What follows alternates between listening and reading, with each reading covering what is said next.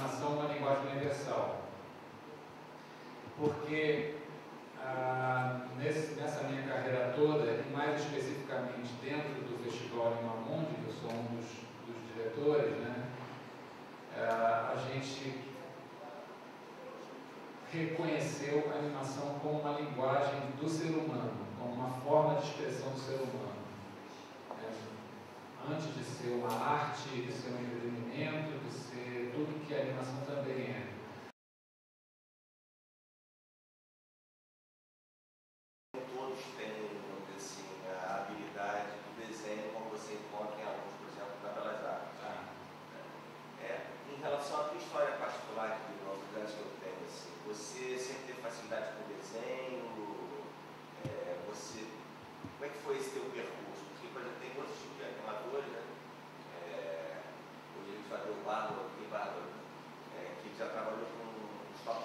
você e a experiência de vida dele também em relação a isso?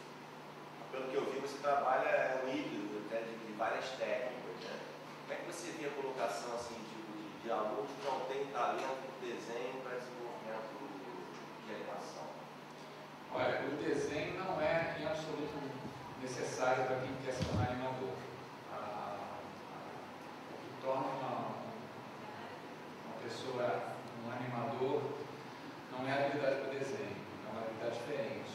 que às vezes está associado ao desenho, às vezes o desenho é a melhor forma dele demonstrar essa outra habilidade, e às vezes não. É, tem várias. A animação é uma arte de você entender o tempo, entender a transformação, entender a evolução. Né? Tem, tem... E até existem desenhistas, existem ilustradores que são excelentes ilustradores,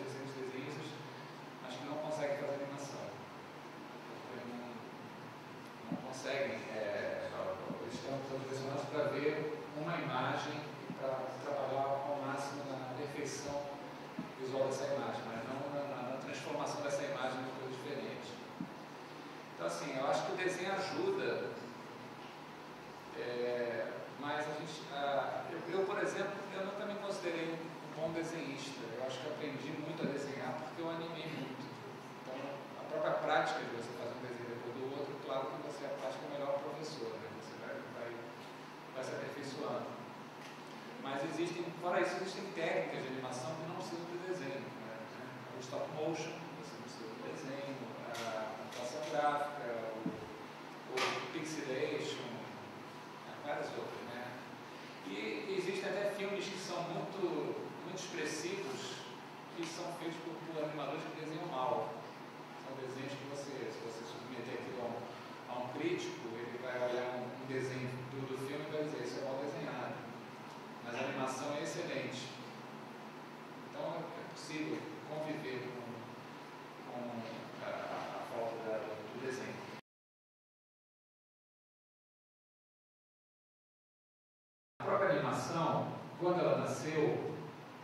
quando ela foi criada, ela não era para crianças, ela era imprópria para crianças, ela não era adequada para crianças. É, ela tratava de temas políticos, de temas eróticos, de, de coisas abstratas.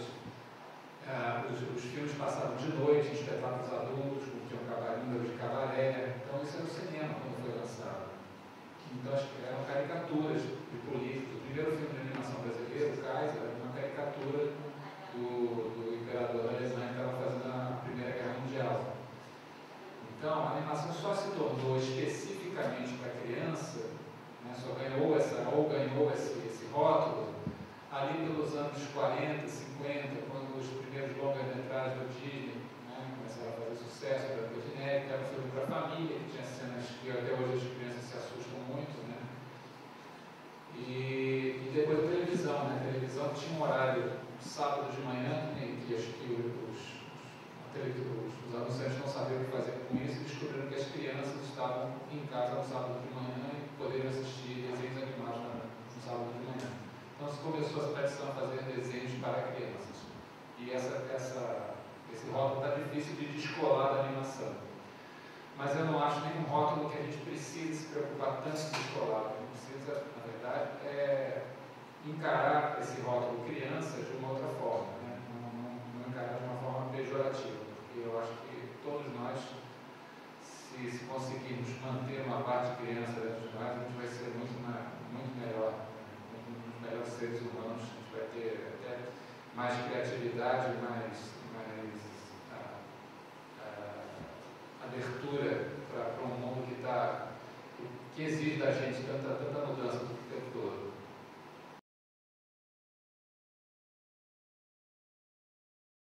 Ainda existe, está tá acabando, mas ainda existe uma, essa certa, esse preconceito de que a animação é uma coisa para crianças. Tem como exemplo os filmes do Miyazaki, por exemplo, é, Viagem de Chihiro, Tony, que são mal lançados aqui, são lançados como se fosse filme para criança.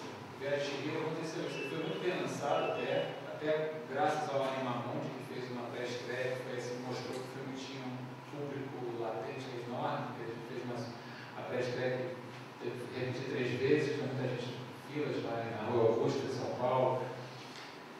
E aí o distribuidor lançou bem o filme, mas lançou para criança. Então aconteceu crianças traumatizadas saindo do cinema, que achavam que iam ver né, Pequena Sereia e viam o Chihiro lá com seus dramas existenciais.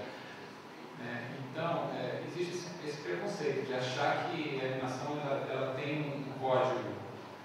Né? E o que eu falava nesse, nesse eu tenho falado nas entrevistas é que a animação é tudo. Na verdade, todo o audiovisual é animação inclusive o cinema ao vivo. O cinema ao vivo é, é feito graças ao desenho animado. O desenho animado veio antes, ele, o desenho animado abriu o caminho. Quando, quando foi possível substituir as imagens desenhadas uma a uma por fotografias, as pessoas se acomodaram a ver somente a realidade, somente imagens fotográficas na tela. Mas hoje em dia isso está voltando, porque você não encontra mais um filme, até documentário, que não tem, não tem um animador na equipe cenas de animação, efeito especial, computação gráfica. Então é, tá difícil você, você distinguir o que é cinema ao vivo e o que é animação. E cada vez mais está no próprio mercado, os nichos todos,